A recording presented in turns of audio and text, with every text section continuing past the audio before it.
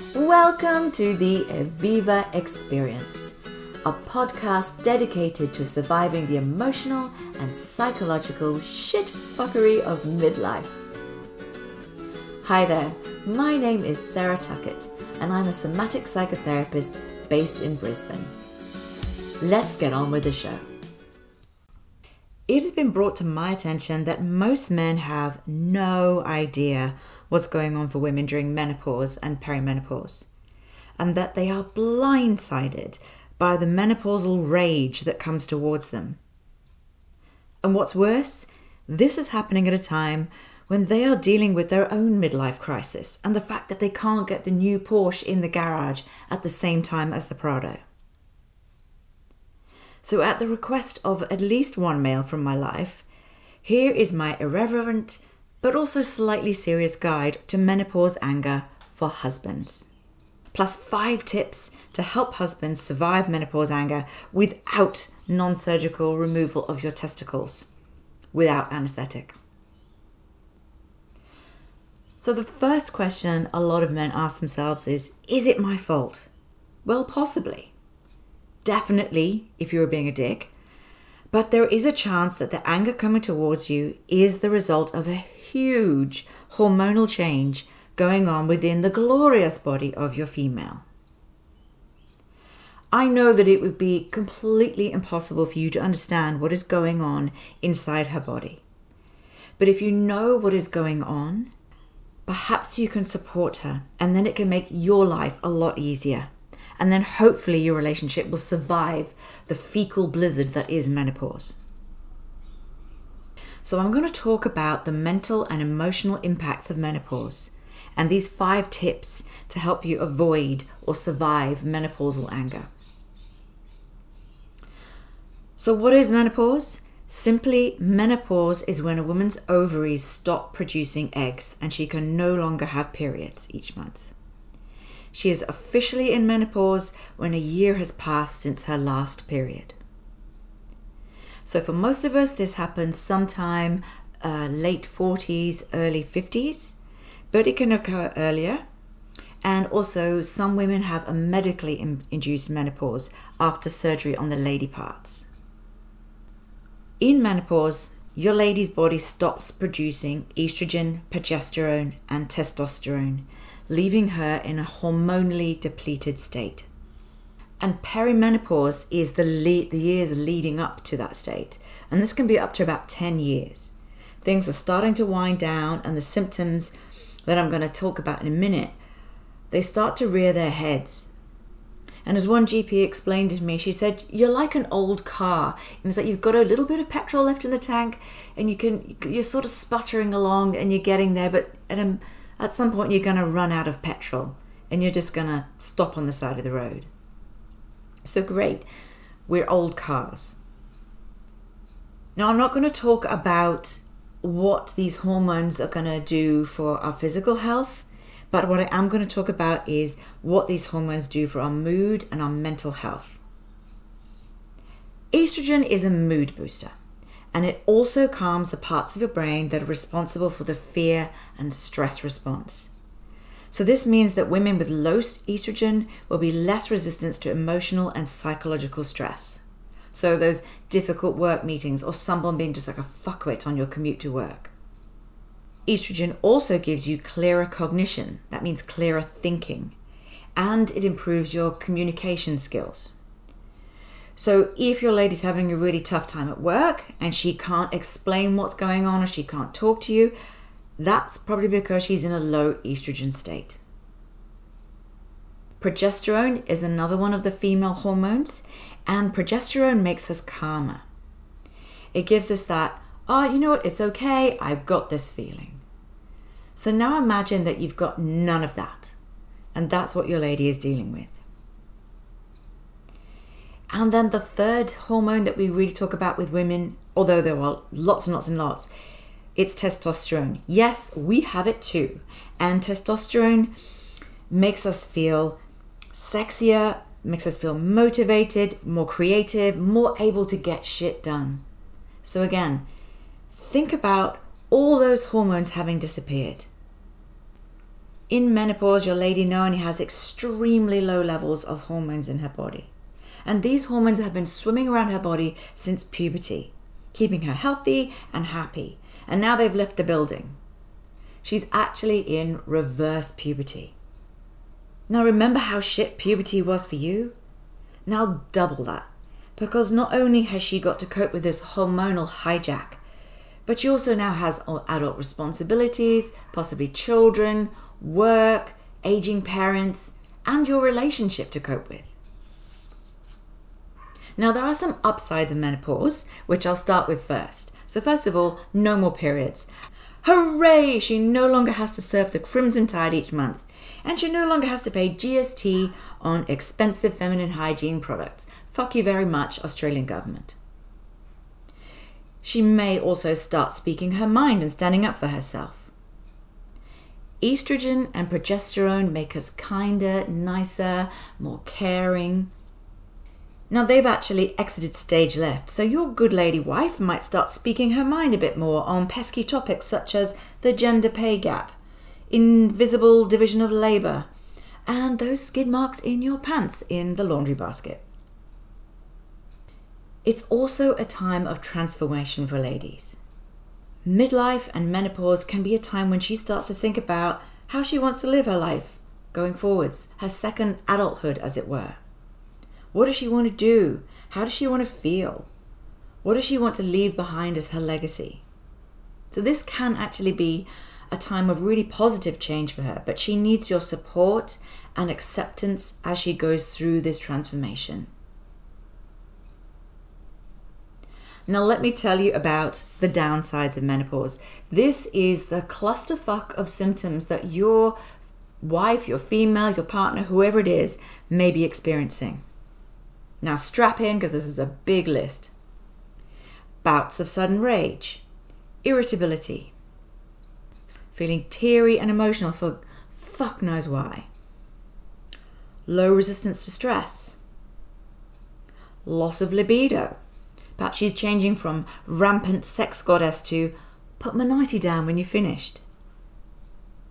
Vaginal dryness and pain during sex. Do not fucking think of bringing that thing near me unless it is well lubricated. Recurrent UTIs due to vaginal dryness and the basically a design flaw in the female urinary genitourinary system. Brain fog, which is like a complete inability to think or focus or even say your name out loud. Feeling completely exhausted all the bloody time. Weight gain around the middle, which is the dangerous fat type, the one you really don't want. Joint pain, muscle pain, yay, more pain. Hot flushes, which is like suddenly sweating like a water buffalo just in the middle of nowhere for no reason night sweats, completely shit sleep. And some women suddenly get mental health issues when they've never experienced them before. Anxiety and depression are common symptoms of peri and postmenopause. And it is no coincidence that this midlife period, 45 to 55, is the most common age for female suicide. For some women, it's a worsening of existing mental health conditions. And some find out that they have conditions like ADHD that they'd never known before. There's other charming symptoms like hair loss, osteoporosis, heart palpitations, dizziness, oh, and less resilience to autoimmune diseases because we have less resistance to stress. Awesome, so many fun symptoms and surprises, really good times. But there is hope. HRT is fabulous, and I have seen women's mental and physical symptoms evaporate after taking HRT. And despite what you might have heard on the interwebs, HRT is safe and effective for most women. Not every GP has had specialist training in menopause, so help your lady find a great GP that is specially trained in menopause, and I'll put a link below to the Australian Menopause Society lifestyle tweaks can really improve symptoms. The problem is that we ladies think that we, we, you know, we're still living in the same body that we were in our 20s and 30s, but we are not, and we cannot get away with the stuff we used to get away with before. Your big weekends, boozy nights out, eating curry at midnight, that kind of thing. But small changes to your lady's lifestyle can positively impact her symptoms. Getting really good sleep is the most important. Let her sleep. She needs more than you. What she eats, when she eats, her working schedule, how much rest she gets, the type of movement she gets, all of this can positively impact her menopausal symptoms. I'm going to put a list a link below to a program that I did myself called My Menopause Transformation by Dr. Wendy Sweet. I am not remotely affiliated with it, but I did it myself and it really helped me. So it might help your lady. Encourage her to talk to someone. Menopause is a time of huge transition, letting go of a youthful body and the ability to have babies. It can bring up a lot of grief for many women. It also may be a time of feeling stuck and confusion because what's my identity? What's my purpose now I'm no longer of breeding age? But menopause, as I've said, can also be a time of stepping forwards into this second adulthood, a new and powerful stage in your life. So encourage your lady to talk to someone. Many counselors, like me, are recognizing how much support women need as we go through this stage and how helpful it can be to just talk to someone about it. You do not have to go through it alone. So, gentlemen, here is my list of five things that you can do to help your lady. Number one, listen to her. I know it's so tempting to offer solutions, but please just listen to her. You don't need to fix anything. But if you listen to her and ask her questions, she will feel heard, validated, and supported and loved. And therefore less likely to want to bite your head off, which is always a bonus. Number two, ask her what can you do to help her? So I know that some of you are awesome and you are doing what you can to help around the house, but it is still likely that she is doing the lion's share of work around the house. And she is exhausted, believe me. And she is less resilient to stress. So the more that you can do without her having to ask you to do it, the better. Number three, give her a hug to raise her oxytocin levels. So when I'm talking about hugging here, I'm assuming that A, this lady likes hugs, B, she's not your boss or something like this. She is is actually your intimate partner we're talking about, or someone else in your family. So hugging releases the love hormone oxytocin, which make her feel closer to you and like she trusts you more as well. Number four, install air conditioning in the bedroom help her get a really good night's sleep, help her regulate her temperature better. And don't whinge if you're feeling too cold, just grab a blanket for your side of the bed. Help her get a really good night's sleep, and half of these symptoms are going to evaporate. And the final one share this information with your buddies. The more men that understand what 51% of the population go through in midlife, the better we are already struggling with our symptoms, with work, with all of our duties.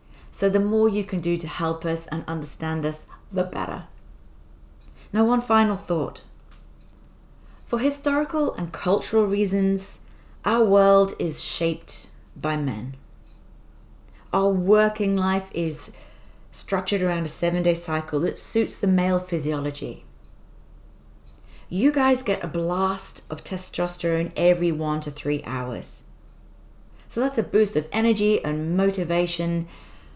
Can you imagine what it would feel like to live in a body which is completely depleted of hormones? No energy, no motivation, just really struggling to get through life. So, how could you perhaps restructure your home life or your working life to help this person that you live with, that you love?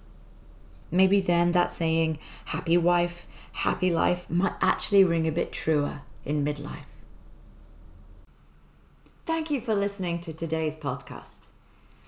I have a question for you. How do you want to feel today? Powerful, playful, or present. Download my free guide, Feel your va va voom in 60 seconds and find out how. Bye.